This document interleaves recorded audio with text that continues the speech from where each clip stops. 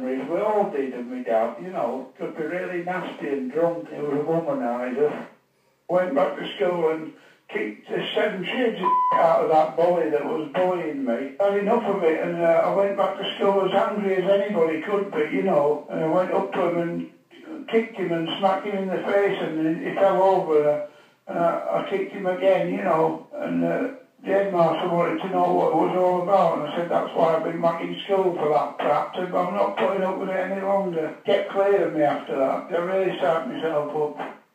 There was one big fella picking on a mate of mine once and I just grabbed hold of him and lifted him right up over my head and he, he put me down, put me down. It was like a little kid. It was amazing that I could do that, train a few times a week. We drew on the walls in the discotheque gravestones and stone crossbones and stuff and wrote the Grave Diggers Union and all our names written on on the translucent bright green wall, you know, go there every week. Thought some uh, some of the lads were having a bit of fun at first. I got up and looked round, I couldn't see anybody. Nobody hiding in the bushes in the distance or behind any gravestones. I walked up the slope and I heard it coming directly. It was like in a wonderland, you know, like a miracle happening. On his grave and it said uh, Bronislaw Zapolski. I always remember that. I was awestruck. It was like an echoing voice, echoing, superimposed upon itself couldn't confide in anybody, my mother or Sonia or anybody, between me and God.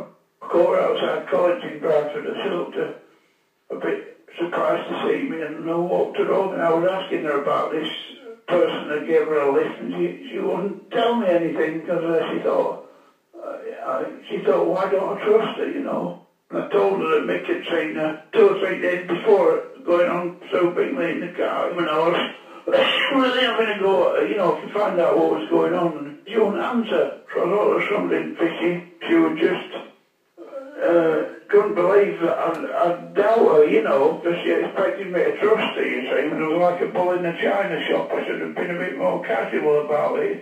So that's what led to me uh, uh, thinking she'd been with somebody and, and uh, uh, led me to pick a prostitute up in the first place and said, I've changed my mind, I don't want to don't want to go through with it. So she said, all right, uh, well, uh, you know, it'll still cost you.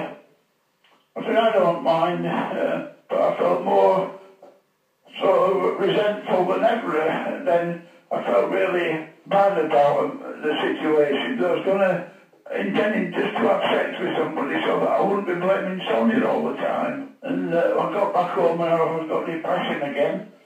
And then the voice came for the second time. Well, it, I'd been talking, saying things good for about two years, but this this time it was giving me advice that wasn't really good, saying that they're a problem in society. Don't you realise why you've had the good advice for two years? It's all been leading up to this. You've got a mission to go on and get rid of these people. So that's how it all started, turned from good advice to bad. So that's when I started on the first uh, attack um, with a, a, sock and a load of pebbles in it and I went on the end. It was a clumsy attack, proving it was my first attempt. Because it, it sock burst and the camels flew out all over some parked cars. Just saw that she was a prostitute and just uh, attacked. How come you were in a place like that?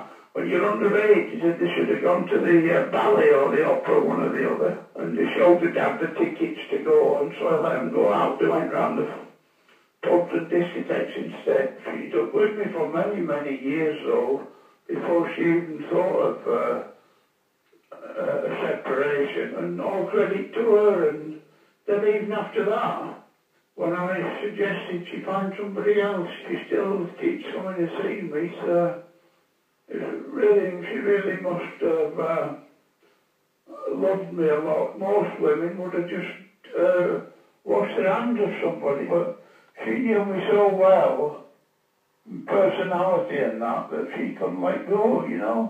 I didn't like it, because you used to load the tires on the trailer by hand and they were full of water and you know, the filthy water sloshing over you as you throw them up onto the truck. Big lorry tyres as well, most of them. I thought she was a prostitute at first, walking slowly and, and looking round. when I hit on the head and it, it just it didn't knock her out, it was only a stick. And I threw her over a wall and said, you'll be okay, I'm going. Because I, I, I, I realised that uh, she wasn't a prostitute. She, was, uh, she seemed fairly young, but I didn't know how young she was. I heard the, the voice saying, no, no, it's a mistake. Stop, stop. So I just said, oh, you'll be all right, I'm going now, and that was it. I ate that title. It didn't apply, it was just a fantasy, a nickname, that, to get imaginations going.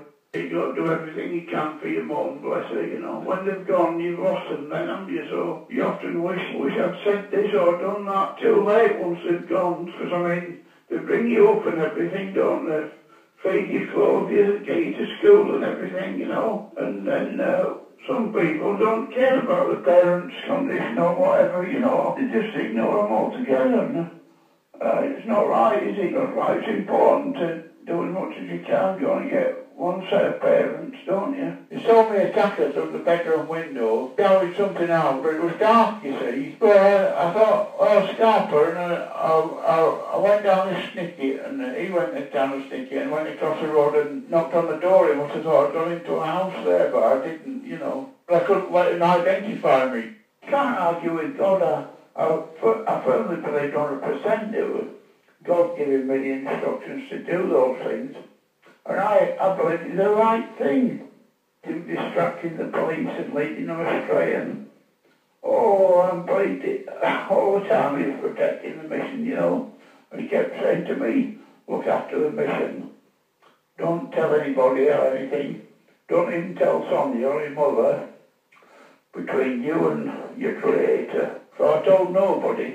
God was in charge. He was conducting everything and I knew everything would be all right. He misled the police several times and I just knew it was a miracle happening every time, you know.